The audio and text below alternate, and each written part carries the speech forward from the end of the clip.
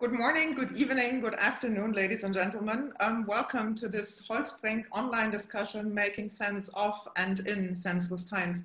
My name is Berit Ebert. I'm head of programs here at the American Academy. Under normal circumstances, um, I would be standing downstairs in our lecture room in front of a lectern. I would be giving the introductory remarks. Um, then you would listen to a wonderful conversations between our, our uh, panelists tonight and after that, we would probably gather on the terrace, um, which is right now to my left, um, and we would all be enjoying a glass of wine together and each other's company. However, um, the current situation has ushered in a shift um, in how we communicate, and therefore, you are all today witnessing um, what can be only described as a world historic event, um, the American Academy's first live and online discussion. Um, this enables us to include a lot of friends who are not only in Germany, but um, scattered across Europe and also the United States. And although I do not see you right now, um, I want to give a very special warm welcome um, to our trustees, Gail Burke, Christine Wallach, and Gerhard Casper, as well as um, so many alumni um, and former fellows who are joining us today from the United States. Um, so with that, the Academy does not only go Wannsee, the Academy goes worldwide and um, with our three speakers for, um, for today. And these are writer and Holtzbrinck fellow Paul La Farge, um, who is joining us from New York. Hi, Paul. Hello. Um, writer and journalist Jan Brandt in Berlin. Hello. And Simone Schröder, also in Berlin. Before we start the conversation, um, let me briefly introduce the three.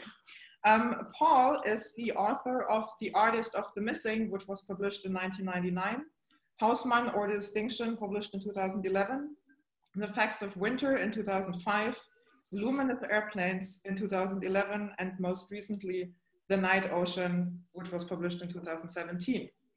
His writing appeared in The New Yorker, Village Voice, The Harpers, among others only. And in the academic year 2016-17, Paul was the Picador guest lecturer at the University in Leipzig. He's currently, as I've mentioned before, the Holtzbrinck Fellow at the American Academy. Um, Jan is the author of Gegen die Welt, published in 2011, which won the Nicolas Born Debut Prize and was shortlisted for the German Book Prize. He is also the author of three memoirs, Death in Turin, published in 2015, City Without Angels, published in 2016, and A House in the Country slash An Apartment in the City, published in 2019. His second novel to be published in 2021 is about a German family who emigrated to the United States. Simone Schröder, our moderator today, um, completed a PhD in comparative literature at the University of Bath and has been working with the International Literature Festival since 2017. Her book, the Nature essay, Eco-Critical Ex Explorations, was published in 2019. Simone is also the German translator of Paul La Farge's, Facts of Winter. Um, I hope you have all written down the titles I just read, um, because now you have a good reading list for the next one or two months, I think. Mm. Um, in our discussion today, um, Paul, Jan, and Simone will explore the various ways in which fiction writers in the pandemic world will have to make sense of a society in which familiar social structures collapse overnight and shared ideas about reality are politicized and polarized in many ways. After their conversation, um, you all will have the possibility um, to join us in a Q&A. Um, you have on uh, the bottom on the right side of your screen, a Q&A bottom, and you will be able to type in your questions. Um, the panelists will try to tackle them. Poor Simone will have to follow um, them and will uh, summarize a few of them if she will not come to, um, to, uh, to, to actually put forward all of them. Um, I will vanish now so that you have the three stars um, on the screen. And um, Simone, thank you so much for agreeing to moderate today. And uh, with that, thank you and good luck. Yeah, thank you, Berit, for this kind introduction and um, welcome to this event, everybody. I can't see you, but I know you're there and I'm happy that you're there. Um, I'm also happy to be moderating this event today. And um, first of all, I would like to thank the whole team of the American Academy for making this possible, for organizing everything. So thank you, Caitlin, Johanna, Mareike, and Berit for doing this. It wouldn't be possible without you. And thank you also to the American Academy. It's really a wonderful institution. Sadly, we can't be there today at Wannsee, but we are in spirit. Um, tonight, as Berit already said, we're joined by two wonderful authors. One of them is German, the other is American, and um, the three of us are going to talk for approximately 40 minutes. And after that, you will have time to ask questions. And as Berit already said, asking in these days means typing questions um, into, into the Zoom chat function, but I'm sure we'll manage fine. And um, I will let you know once the time is to submit questions, but you can already think about um, possible questions that you have for our speakers while we talk. And the whole e event will then finish by around six o'clock Berlin time, that is. All right, then uh, let's begin. Uh, um, Berit has kindly already introduced Paul and Jan. So um, all I, I have to ask is, uh, Jan and Paul, you, you have already met and is it true that you first met in a New York City bar? Um, yes, I, am more I'm more embarrassed by it than Jan is, but uh, we I, there was a, a reading series in New York City that required the readers to take public risks to do things that they would find humiliating and or uh, horrifying in their regular lives and I was unfortunately a reader that evening. Um, and my, my decision regarding the public risk was to eat a rather large quantity of wasabi, which is the green spicy horseradish that comes with Japanese food. And I'd found a trick where you could do it without uh, having your head explode. So I did that to everyone's great astonishment. Um, and then I, I, turned bright green and had to uh, exit the stage in a hurry uh, because my, my trick hadn't worked quite as well as I had hoped. And so for me, it was a, it was a, a lesson in writers maybe uh, sticking to what they know how to do rather than undertaking things like eating uh, large quantities of very spicy horseradish. And I, have been a little embarrassed by the whole thing ever since, but Jan was nice enough to tell me that he didn't feel bad for me um, and of course, because it was such a weird and, and stupid thing to do, uh, it, it's probably the only thing anyone will remember me as having done. No, you you you are my wasabi hero since then. I didn't yeah. know that you uh, try to use a trick. Uh, oh yeah, there's a trick. Convinced that you are able to uh, to digest it. Well, you know, I do have I have a novelist's constitution, so I'm used to digesting the indigestible. But no, Jan, also, also Jan did you also did you also have to do a challenge, or were you just in the audience? No, I was just um, gladly I was just in the audience, uh, but I was thinking about what would I have done when I was uh, on stage, uh, and I think I would like, you know, something do as embarrassing like. Uh, you know, I, I didn't find uh, eating a bowl of wasabi embarrassing, but I would like dress like a Bavarian native or something, mm-hmm. Lederhosen or something like that, you know, which something which is considered uh, to be typical German, although I'm not coming from Bavaria, but from the opposite side, from uh, Ostfriesland, East Frisia, but we don't have like kind of traditional dresses which are well known in the outside world. It's definitely a lovely story how, how the two of you met thank you for sharing it. Um, the theme of our conversation today is making sense of and in senseless times. And I believe that you, Paul, came up with this title. Was it inspired by your experience of the last three months? Absolutely. Um, I think, you know, I, I uh, went very quickly to the word senseless, which describes an experience of living through uh, times that are uh, where things are uh, sort of large and seemingly immutable things are changing very quickly. And so the whole process of building structures by which to understand them gets a little uh, undermined. So I was in Berlin until the 9th of March, um, very happily uh, working away at the academy and enjoying my fellowship and the uh, the the beautiful environment and the uh, truly wonderful food and the the support of this incredible staff. And then I went back to New York for what I thought would be a couple of days. And it turned out that those couple of days were the days during which uh, international air travel ceased to be a possibility.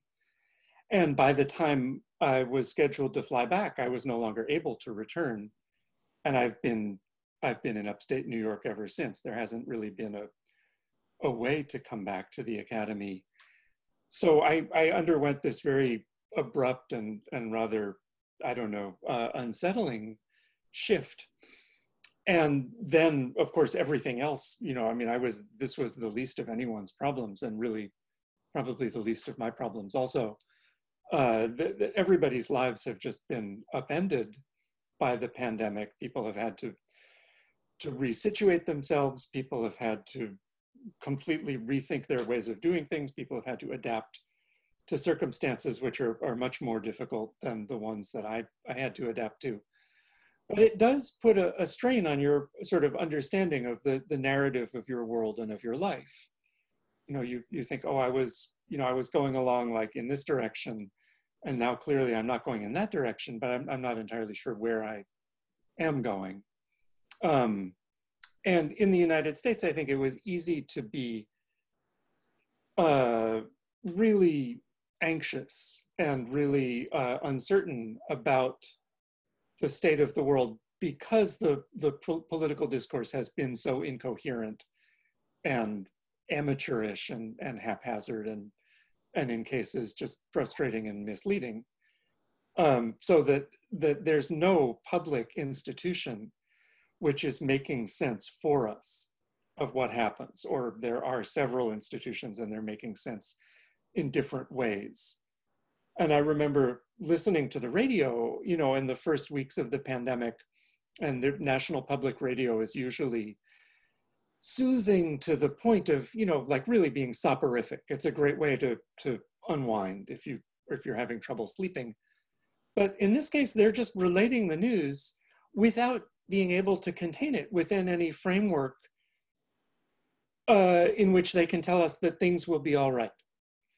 There was no kind of narrative that they could impose on this story which would make us feel okay about the story. There wasn't a way to say, well, it's all for the best, or it's all sort of part of some narrative of American progress, or some narrative of resilience or triumph. It was really just like lots and lots of people are dying we don't know what's going to happen. In New York City, the healthcare system is overwhelmed and people are, are on cots in the, the corridors of our hospitals. We don't have enough equipment to save their lives. And we don't really know what's going to happen. So there was this, this kind of pervasive feeling of, um,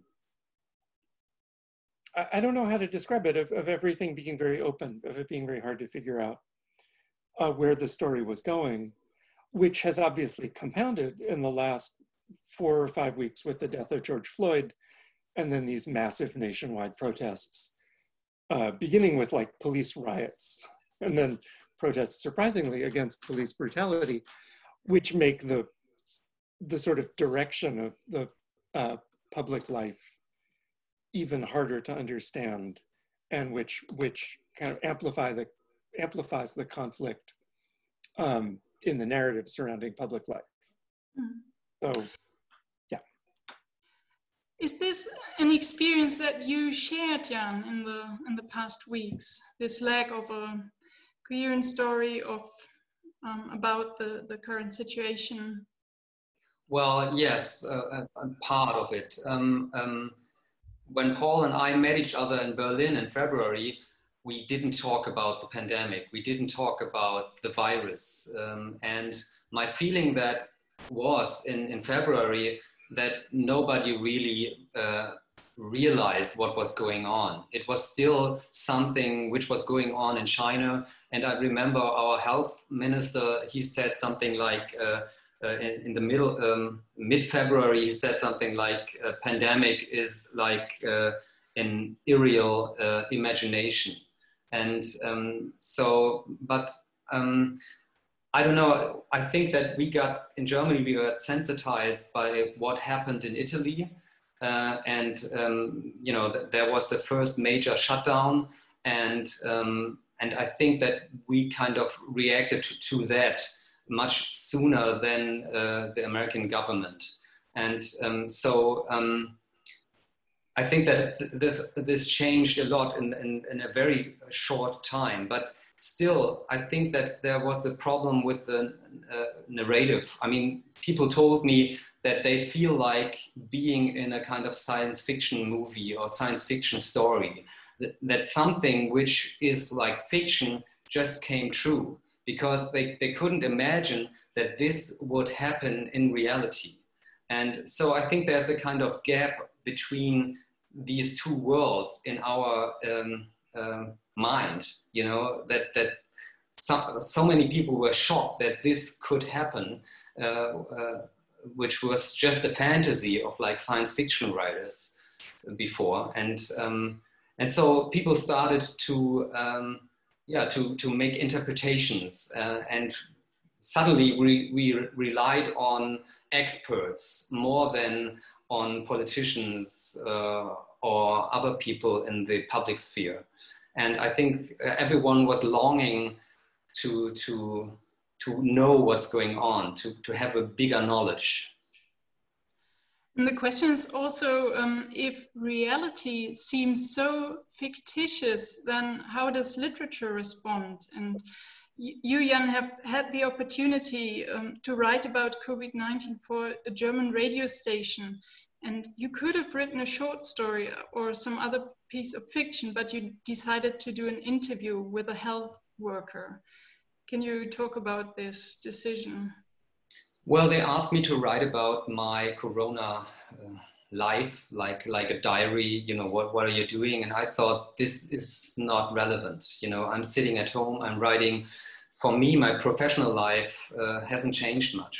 So I, I thought that we have to ask people who are dealing with corona crisis uh, like like who are dealing with people who come in sick or you know healthcare workers who are underpaid anyway and uh, who are the first people who got in, touch with with this virus um, and uh, with with the kind of um, result of a, a false policy um, so I, I, did interviews with um, yeah nurses and um, and I, what I did was like a kind of monologue of one of the nurses, um, how she's reacting to this. And uh, she told me that she's not working with, uh, with uh, COVID-19 uh, patients, but uh, with um, supposedly cancer patients and all the operations or all the kind of things they had to do, the preparations in hospital are kind of postponed. Which is a serious thing uh, because, I mean, if it uh, turns out to be cancer, then it's serious for them. But they, they had to, they were ordered to keep all the beds free for the COVID-19 patients. And um, I, I, thought that this is much more relevant right now than fiction. Um, because, I mean, yeah, what we considered uh, to be fiction is now real. So we have to uh, focus on reality right now. Do you agree with that, Paul? Um, I think there's a yes. The short answer is yes. I think there's a very practical way in which uh, fiction writers, like everyone else, need to be engaged with reality. And it may be that this isn't a moment when we want to open up the spaces that that only fiction opens for us or as Jan suggests, maybe it's a moment when we when we question the very existence of those spaces and say, well, if this thing can become real, what does that tell us about fiction or what does it tell us about reality? I'm inclined to think that there are still things that fiction does that journalism does not do. and that happen not, not only in fiction, but that happen mostly in fiction and that don't entirely translate into headlines even in the time of a pandemic. But whether this is the moment to voice those things or not, I don't know. It seems like the needs of the present are so pressing that, uh, you know, it's like being on a, a ship that's about to sink. You know, you, you really want to just make the ship not sink. And, uh, and that, that takes priority. And then when you when you've done that, if you ever can, you uh, you begin to return to the spaces of fiction.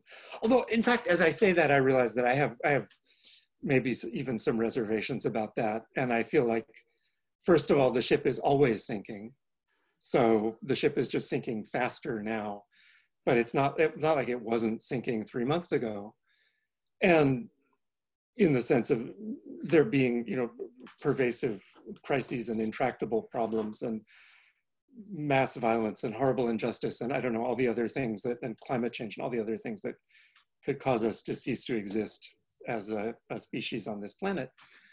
Um, and then I think in a way, writers have something, fiction has something that it can do even now. Uh, and so for me, you know, I, I it's I, I, wonder how much of this has to do with the fact that I don't live in a city. So my immediate surroundings are uh, trees and, and, and wild animals. Uh, but I don't feel the same urgency to go out and ask people to tell me their stories.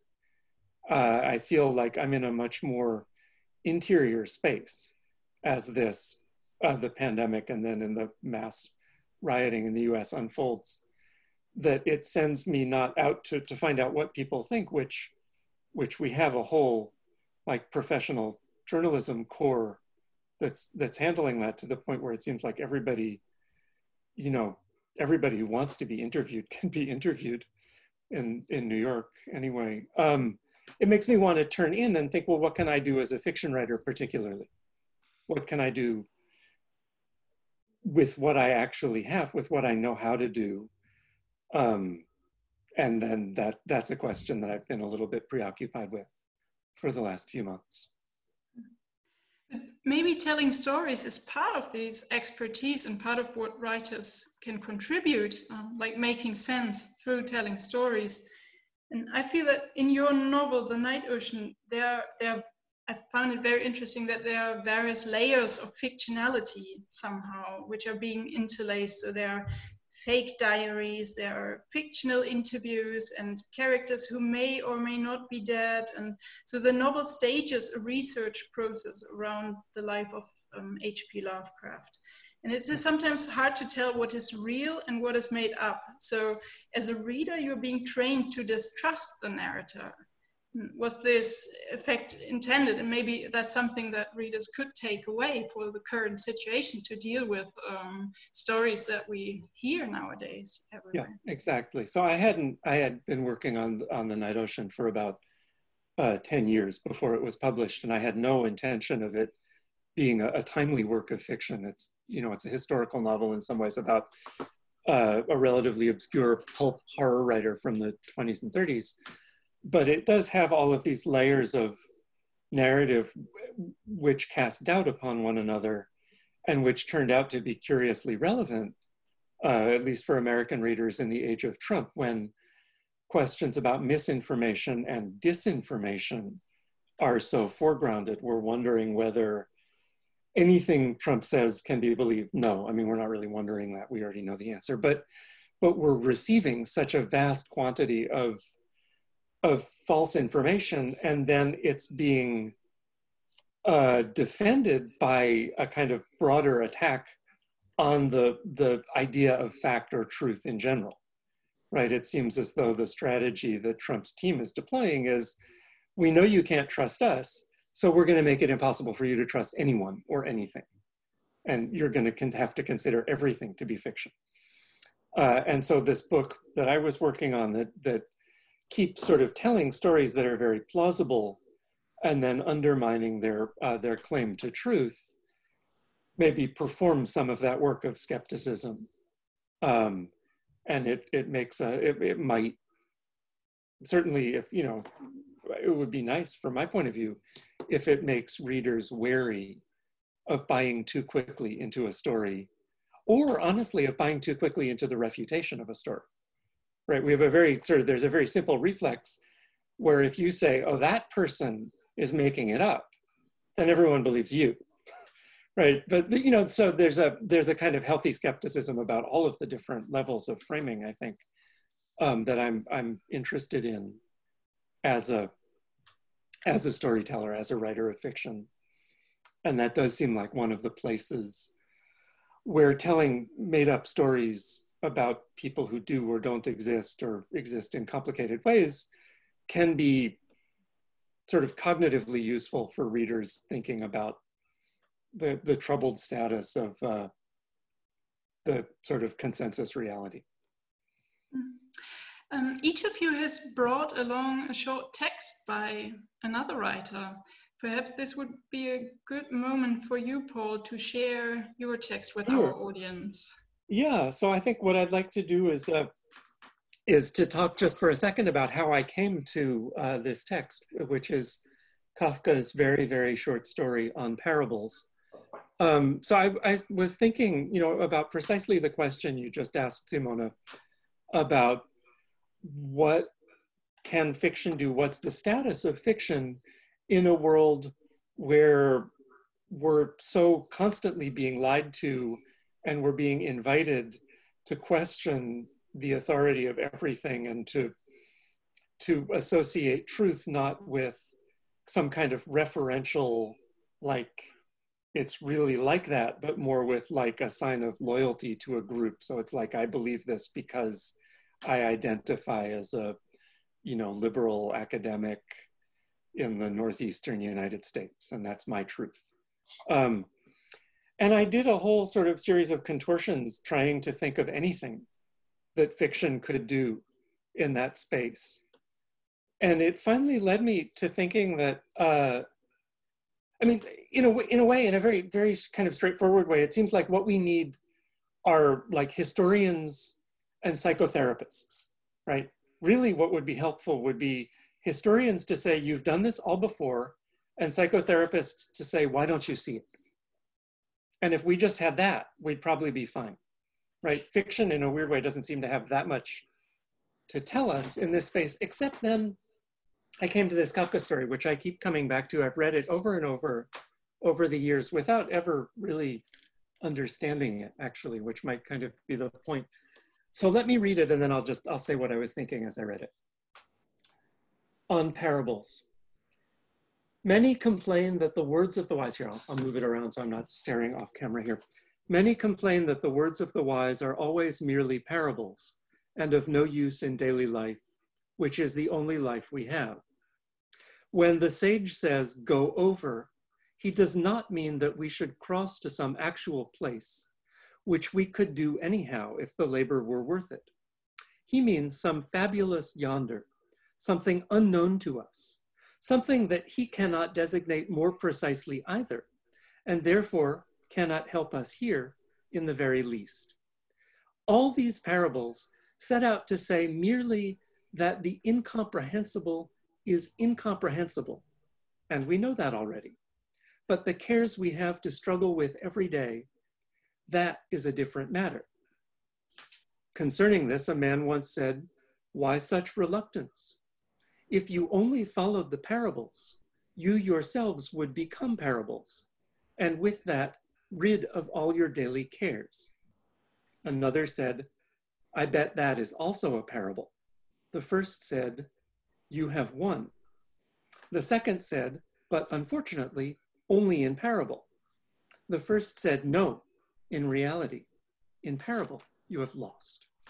Which I think there's a whole lot of kind of mental gymnastics that need to take place to understand the, the, the whole story in just those last sentences but to me, and I, I offer up this understanding of, of Kafka with, with the greatest hesitation and the, the certainty that I'll probably make even a larger fool of myself now than I did eating a chunk of wasabi. Um, on parables seems to be reminding us that the incomprehensible has a value in our lives and that the, the way to approach the incomprehensible may not be to drag it into the world of the ordinary and explicable, the world of our daily cares, the world of things that we can do and improve and solve and like you know we'll get from the beta release to the like 2.0 release you know everything will steadily get better. But that that one one way to approach the incomprehensible is simply to accept it and to say there are things that surpass our understanding and if we're attentive to the world we encounter them constantly whether there's a pandemic or not. We're constantly faced with things that we have no capacity to understand. And when we when we try to understand them, we're sort of kidding ourselves about the success of that attempt. And if we were able to, to get into the world of parable, the world of stories, the world where things are, are other than they are here, we might not solve the problems of our daily lives, but we might at least be able to step back from the urgency of solving them for a little bit and create a space from which to contemplate them, which would be less desperate. So that's that's my two cents. Thank you so much. That's an amazing text. It, it feels a bit like a, a, room full of mirrors to me. Um, yeah. I really, really enjoyed hearing it again. Jan, you've also brought along a text. Would you read it to us? Yes, it's, uh, it's the beginning of uh, the novel. Uh, he is my American Kafka, so to say. It's like uh, it's Johnson's novel Already Dead, and it's the beginning of the novel.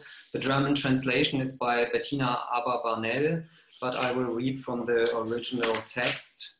Uh, it's about uh, a guy called Carl van Ness, and uh, he's an ex-sailor who is on a suicidal trip uh, in uh, Northern California. He wants to kill himself, drown himself, um, but unfortunately, in his case, he gets rescued, and that turns him into a kind of human demon.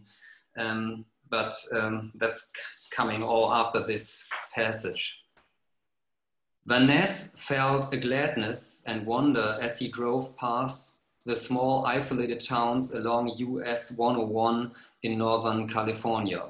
A certain interest, a yearning, because he sensed they were places a person could disappear into. They felt like little naps you might never wake up from, you might throw a tire and hike to a gas station and stumble unexpectedly onto the rest of your life. The people who would finally mean something to you, a woman, an immortal friend, a saving fellowship in the religion of some obscure church. But such a thing as a small detour into deep and permanent changes at the time anyway, that he was traveling down the coast from Seattle into Mendocino County wasn't even to be dreamed of in Van Ness's world. Yeah, and for me, it, it's kind of, um, this novel is like, it has different layers as well, and people are telling stories, and it has a lot of characters. Um, and for me, it's like the beginning of this uh, a novel is like in kind of a condensed version of what literature is for me. It's like a detour in daily life. As soon as you open up a book, you are entering a different world. Like what Paul said about Kafka, you are kind of uh, you are kind of doing this. Um, um, you, you you go over. You know that's that's a kind of step you take as soon as you open up a book and start reading. And um, and yeah, sometimes books are like you know little naps you never wake up from, mm. uh, and, uh, and and they are horror stories which uh, you know go around and around in your mind all the time. And uh, the good thing which come, could come out of it is like you you somehow get a tool that you can imagine things and that you can uh, rely on things and that you can uh, understand people better uh, with literature because you are able to to set yourself in their view in their life Yeah, thank you for sharing that as well. And um, I've also got, I've got actually got the same copy as you at home, um, also the German, German translation. Um, and I think it's curious that uh, the cover features an ocean. It's not really night, but um, perhaps this is hmm. not a coincidence. I know that you, Jan, have just been reading The Night Ocean. And do you care to share some impressions from your reading? Yeah, I found it very fascinating because uh, the night ocean always shifts between fiction and reality, and you're never sure where you are and what really happened. And uh, I, I, sometimes uh, found myself uh, with my uh, smartphone next to to me and you know kind of google all the people uh, paul is mentioning uh, googling if they really existed or not and if the dates are correct, I'm, I'm working as a copywriter as well, so I'm always kind of have this thing going on in my mind. And then uh, the novel uh, like turns around uh, 180 degrees. It's like you are suddenly in a different surrounding because what he tells you is like everything you read was wrong, you know. And now I tell you the real story so um, you're always kind of shifting between, uh, you know, what is true and what is fake. And uh, it's about fake books. Uh, it's about a hoax. And uh, what I find fascinating is that one of the main characters is H.P. Lovecraft, a horror fiction writer. And the book is like, uh, as soon as, you know, and, and the other one is a narrator and uh, her husband who wrote about a, a relationship with H.P. Uh, Lovecraft. And um, what I found fascinating is that the horrors Lovecraft created uh, are not as bad as the horrors like, uh, like the internet or the, the shitstorms um, uh, created. I mean, uh, the main character is confronted with a shitstorm finally, and and then this is a real monster you know and i found it really fascinating that uh, this is something which has to do with my daily life this can happen to me as well so this is a, a monster i have to be afraid of uh, in in my life and not in a kind of uh, fictional way um, and that that's a kind of fascinating way uh, how paul did this on these different layers that you're always kind of like Kafka, you're always walking on a kind of insecure ground. You never know where you are and what's going on. Lovecraft, as a person, had his dark sides. There are hmm. problems to the views that he held, to put it mildly. Um, what what drew you to this writer, Paul? Oh, I uh, you know I was drawn to him at an age when one uh, hopefully doesn't isn't required to exercise good judgment. You know, I was probably 10 or 11 years old and the, the kind of horror and apocalyptic uh, uh, cosmos that he created for his books resonated with me as a, a kid growing up in New York in the 1980s. You know, I felt very much like, sure, monsters from space are probably going to kill everyone, you know, that's kind of how I feel every day so why don't I read stories about it? It was only much later that I um, understood the, uh, the, you know, that I learned about Lovecraft's biography and then knowing his biography as a, uh, just a really uh, quite virulent racist um, and uh, anti-Semite and misogynist and some other things.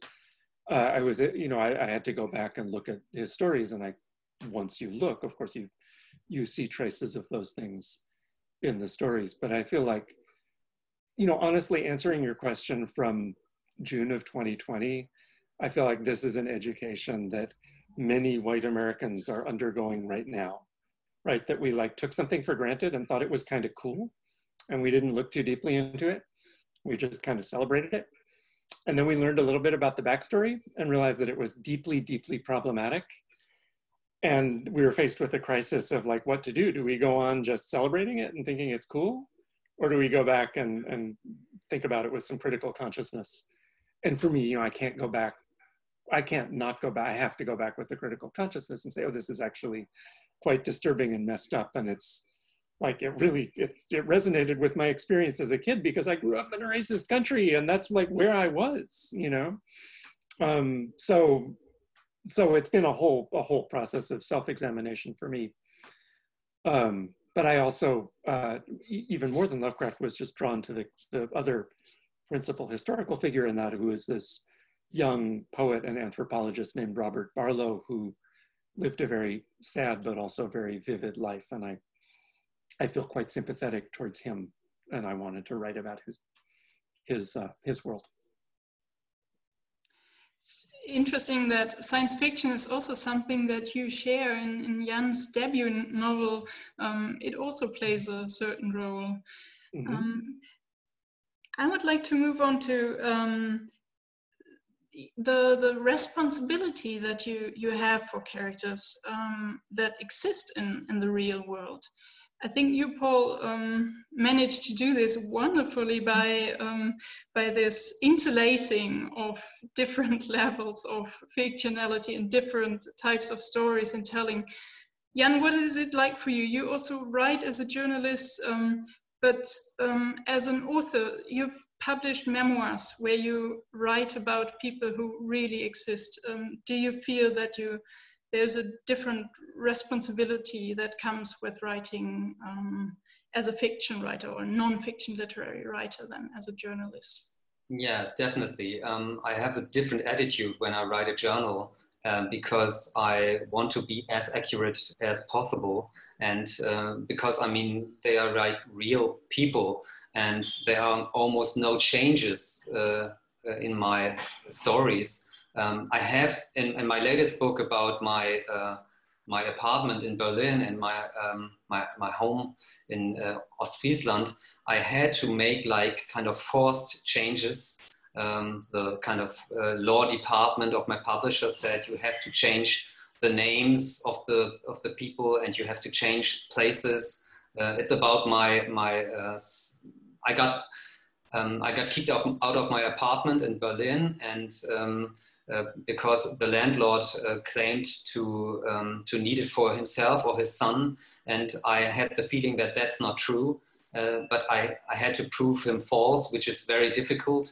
Um, so um, anyway, I, I, was looking for an apartment for like 10 months in Berlin. Um, and it was very difficult for me to find one because I'm a writer, I'm a freelancer, I'm, uh, um, I'm, I'm, on my own. So I, had, I, don't have a regular income, which is not very uh, uh, an advantage in this market. So um, I was, I'm describing all these kind of uh, uh, situations where I was looking uh, apartments and um, my publisher said you know you have to change the names of the of the people you met and um, that's what I did and and I also had to change the name of my landlord and uh, write him a kind of fictional background um, I hated that because I, I, wanted to be as true as possible, but in this case, it was impossible uh, not to do it. And in, in, fiction, it's different. I mean, I'm, I'm using real people but I kind of mix them into uh, more complex characters uh, and um, I, I not only change their names, it's like uh, a kind of mesh up of different people. But although I'm, I was very afraid of the result when I published my first novel, which is called Against the World, and it's, a, it's about a very um, angry young man in, in, this home, in, in my hometown, so I thought that, you know, I got a kind of, there would be a kind of lynch mob uh, when this book would come out. Uh, but uh, the thing is, the, the novel is too big to be read. I think it's like a thousand pages. So when it came out, nobody read it.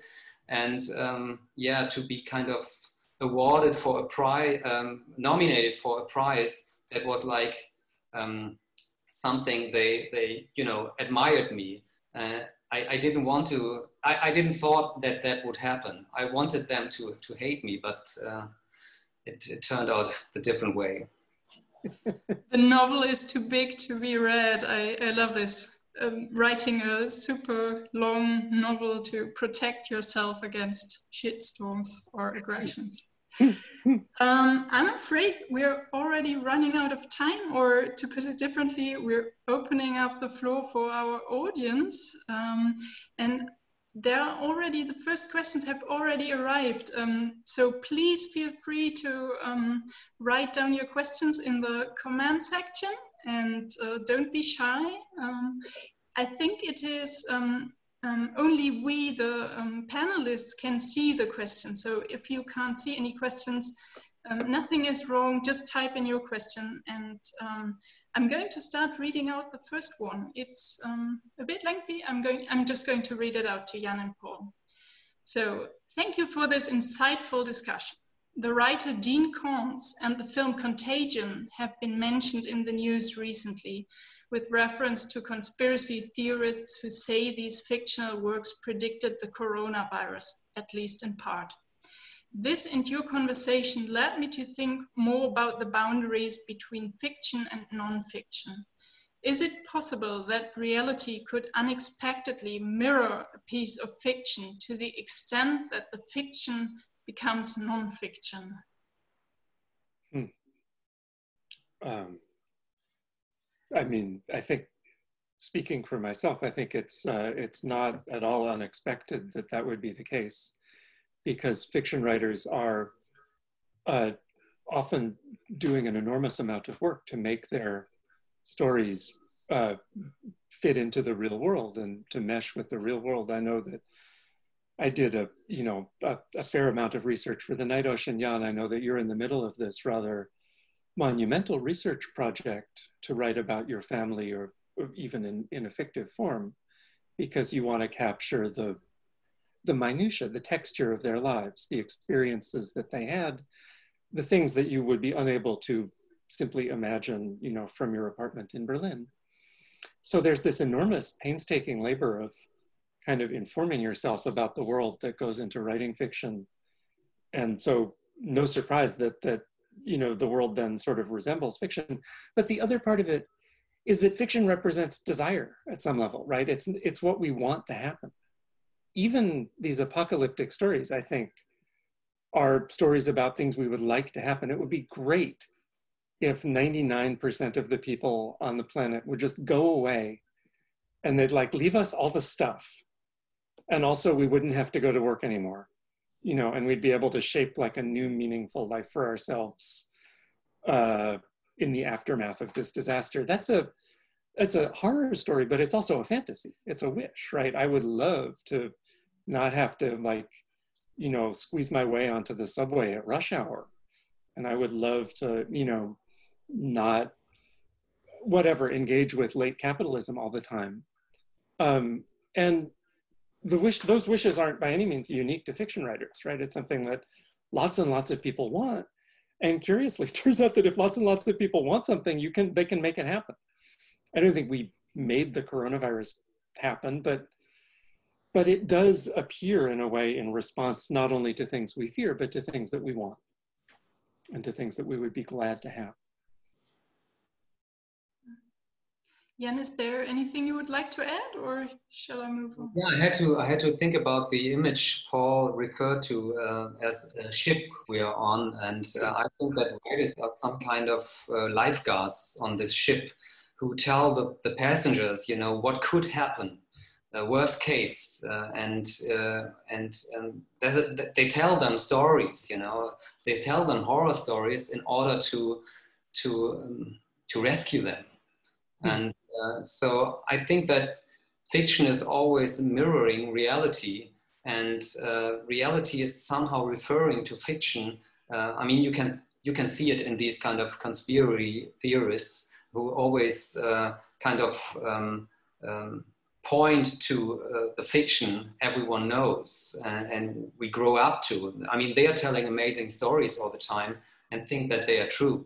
So um, uh, I think there's always a kind of mirror uh, and, and always a kind of, a kind of very thin wall between the two worlds. Yeah, I love that we're like, you know, the normal lifeguard's job is to say everything is going to be all right. But our job is to be, we're like the bad lifeguards. we're like the ones who are like, you should actually be really afraid. I don't know why you're not wearing a life vest. Yeah. Yeah.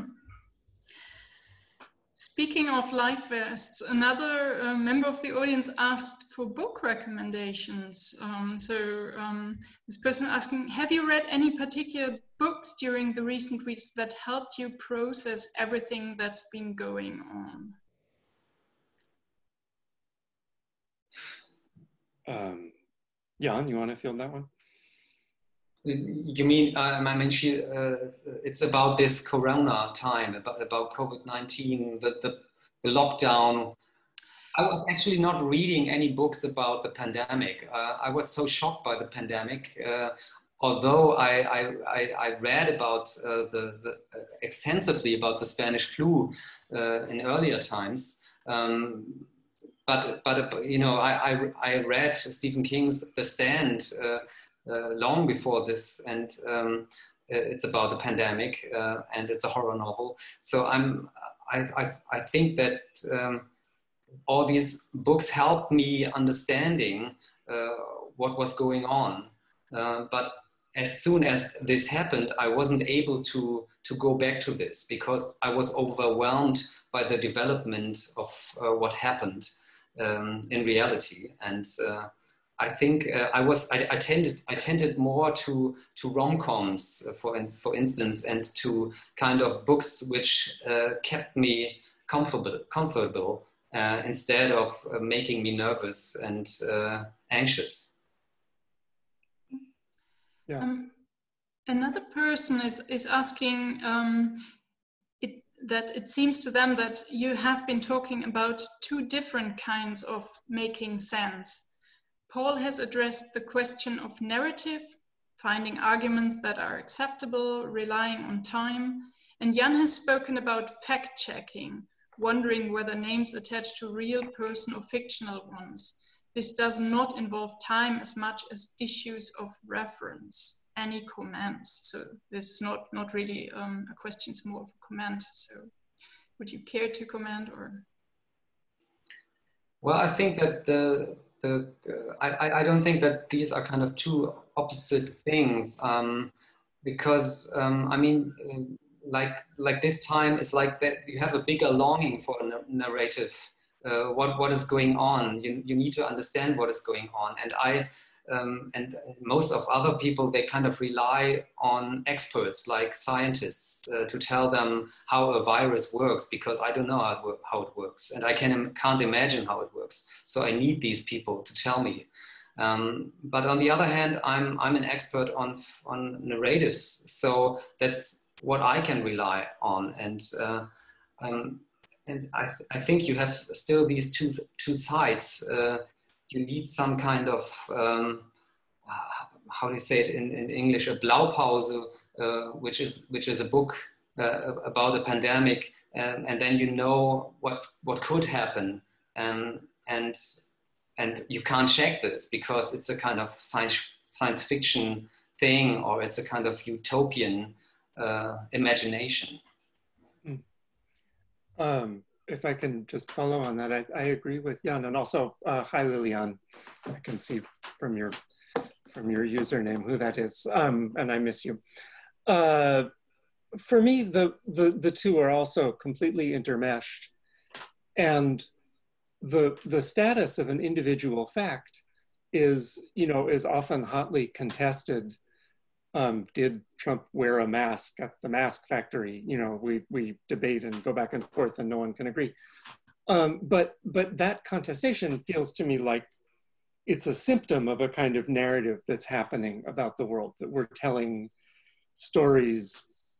You know, i I'm reluctant even to try to characterize them, but that often the stories that we're telling feel to me like they're about, uh, they belong to particular demographics right? That this is the story that this tribe tells. This is the story that this sect tells. This is the story that this affinity group tells. And that there's something about the kind of larger social picture in which the narratives are being built, which then puts a great deal of pressure on these questions about fact and fiction. Um, but that that pressure in some way feels to me like it's symptomatic of something else that's going on. Uh, a different sense of commonality or an, an absence of commonality, uh, a kind of restructuring of power relations so that we're not living in a, a hegemony where uh, uh, you know the old white guys get to tell us what's true and we don't accept that and we're sort of like actively engaged in not accepting it. Um, all of those sort of larger narratives it seems to me are are informing our sense of of what counts as a fact and whose facts we accept and where we get our facts and how we would ascertain whether something is a fact or not. And Jan, I probably shouldn't say this, but when you were looking things up about the night ocean, I should warn you that I wrote some of those Wikipedia pages. What? I know, a little bit shameless, but yes, there are, you know, I mean, at some level, it's all just, it's all just intrigue. You changed the internet. I'm shocked. Tiny, a tiny little bit. Oh. A tiny little bit. It's all one large text, I suppose. There's a lot of internet.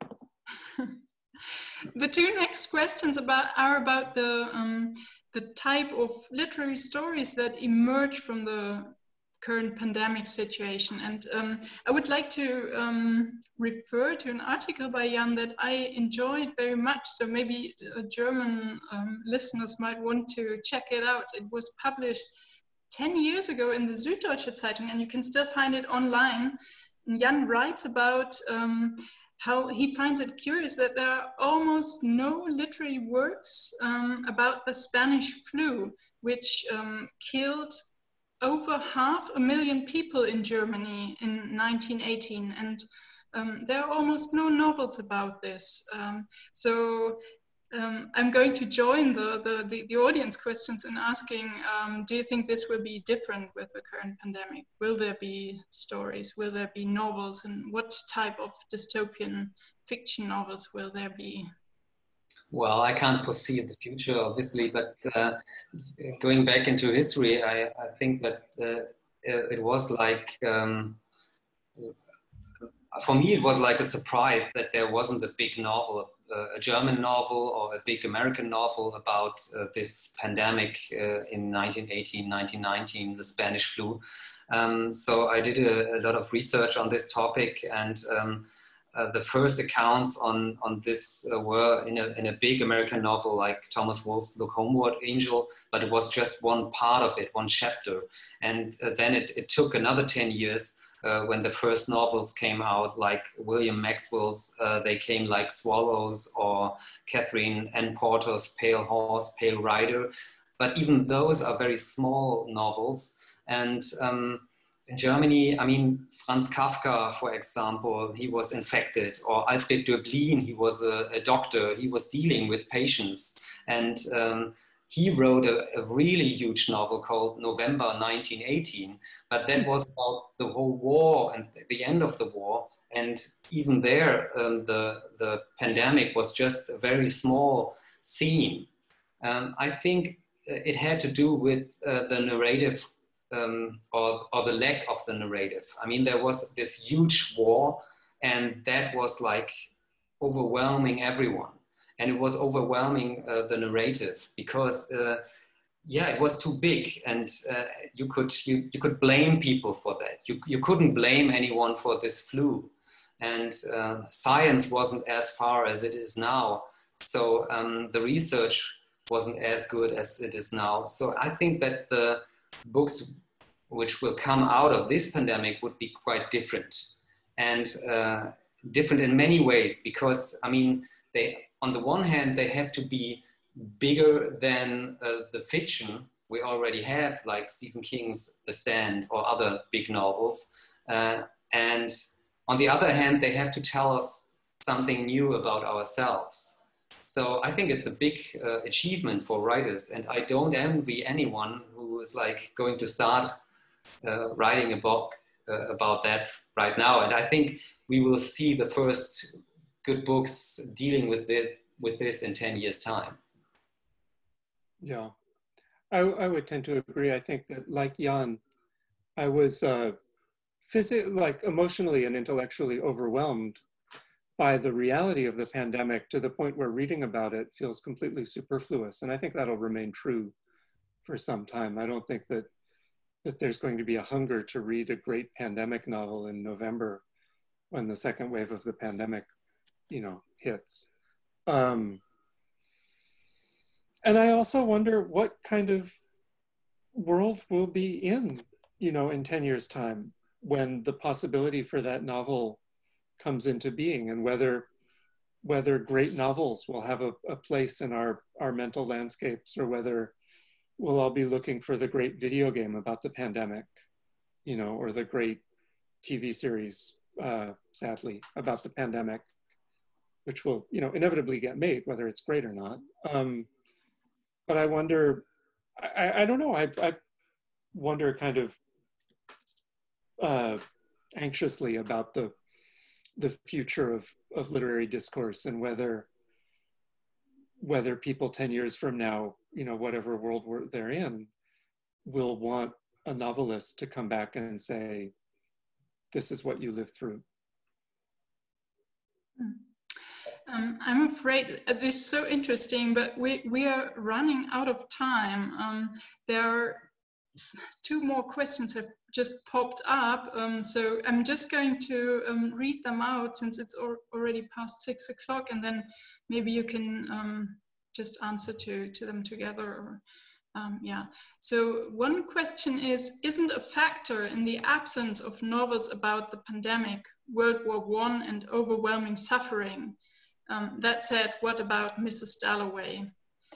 And then another question is, um, oh yes, uh, sorry, just a second. Um, what is the responsibility of writers right now in this situation in contrast to journalists? Hmm.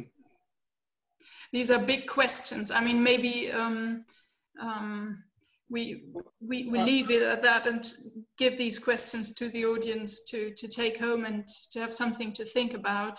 Um, if, if I could risk uh, sort of ending with a something that may seem like a platitude. I, I have no information about the pandemic. I love Mrs. Dalloway, no opinion. Um, but about the responsibility of writers, I I spend a lot of time thinking about what I can do right right now. Um, what can I do that will be of any use? Which is, I think, maybe another way of asking the same question: What's my responsibility? What how do I how do I like maintain my part of the social contract? And the only answer I come up with is that I that my responsibility is to keep asking the question.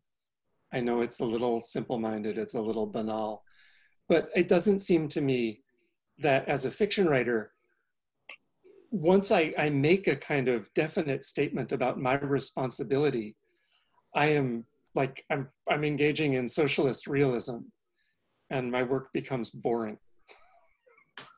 and it sort of loses its, its capacity to do whatever it was going to do in the first place. Um, I think for journalists, it's quite different. And there are fiction writers who are also journalists, right? I mean, Jan uh, among them. So that the, there's a, you know, you're, you're working in two very different spaces. But I think for a fiction writer, that question is, is vital, but it's also very hard to answer categorically. Well, I think I think that uh, you know, kind of going back to the two writers we mentioned, uh, Franz Kafka and Denis Johnson, uh, I would say that journalists uh, have to write about what's going on now, about reality, about uh, the real things, about the facts, and stick to them. And the fiction writers, they have to go over, you know, enter the room of imagination, or you know, take the detour uh, to places where you've never been to and uh, probably you never uh, uh go back uh, and, and stay and uh, stay there and stick to fiction.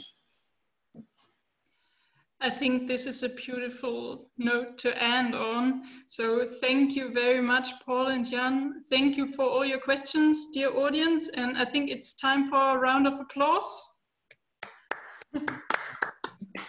and for me to hand over to Berit. So thank you, everyone.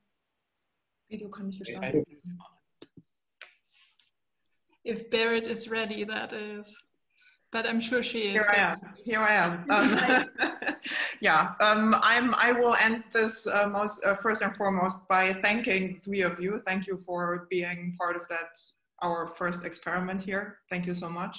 Um, I would also like to uh, thank Stefan von Holtzbrinck for um, funding and financing the Holtzbrinck Fellowship without uh, which, which we would not have had Paul here at the Academy and also not here at the Academy in, in the United States. Um, and I would like to thank my two colleagues, um, Mareike and Johanna, who are right now with me. Um, the wonderful um, um, mechanism of new technology makes it possible, which is not possible during an event, that I show them to you right now.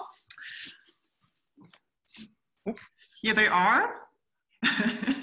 so thank you. And thank you everybody for joining. Um, perhaps we will see each other again on June 25th, where we will have our next online event with economist Jeffrey Sachs, who will talk about a new way forward for global cooperation. And uh, with that, thank you.